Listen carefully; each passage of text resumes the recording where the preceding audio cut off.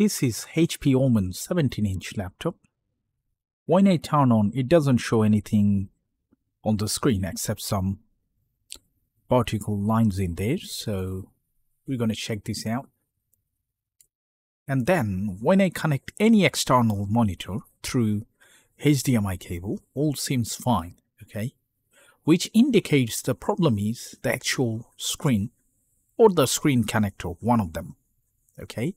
The actual mainboard is absolutely fine. There is no issue. Otherwise it was not going to show any secondary display into the separate monitor. So as you can see there are a lot of vertical lines in there. And also the face tracking shows it's trying to get the face id to work okay?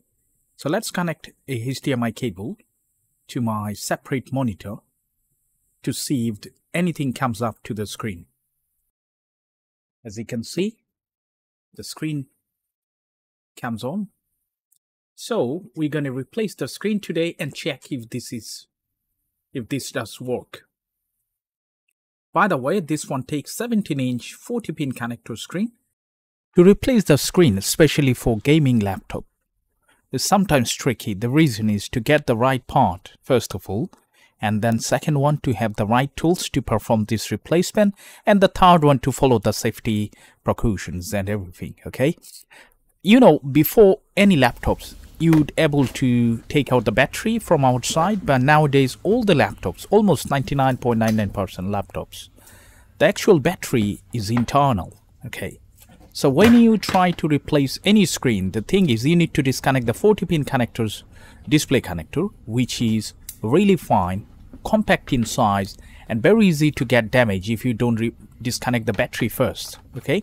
That could be shorted the motherboard to the ground and it would be completely wasted you know. So the first thing the right procedure to replace the screen disconnect the battery. Does not matter if there is any charge or no charge. And that's why we're going to take out the back cover.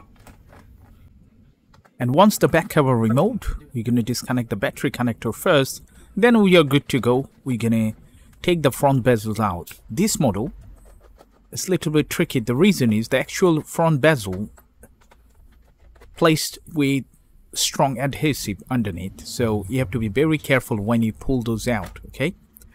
Uh, especially the plastic front plastic is quite dry and very easy to get damage I mean break. So follow the steps check the video first from first to last and then you would have a basic idea how to replace it and then you can play up your mind and do that. Okay. So to get the right part sometimes when you search with the model number i mean the base model number of this product for example this is hp omen 17-an019 whatever if you search in that way it's always going to show you it's available but the price would be quite high. There is the another way that you can reduce the price. So what you have to do pull out this old screen and check the model number of this screen which printed back of this screen okay? And also you can check there is 30 pin or 40 pin. This is the correct way to get the replacement because i found myself most of the time when i produce this sort of video everybody keep asking almost everyone like hey where can i get the part okay so this is the thing. If you want to get the part does not matter which country you are in especially if you are europe usa canada uh, you know anywhere try to search with the actual base model number of this screen okay? Because sometimes the same screen could be used in many different laptops. That could be in hp that could be in acer dell any different cross brand okay? So these are the things. So video will be a little bit longer you know accept it and then follow the steps you'd be able to do this replacement without visiting any shop and then I'm going to charge you plenty of money.